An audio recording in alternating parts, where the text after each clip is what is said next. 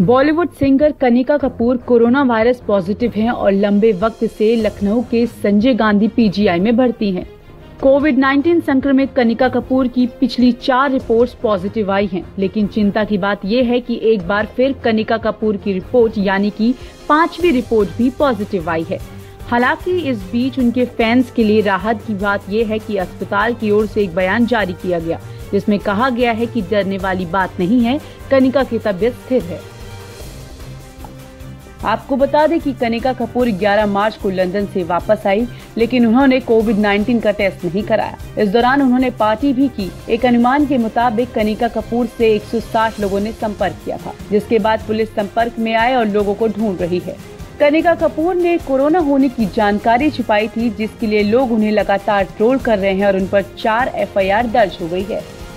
News desk.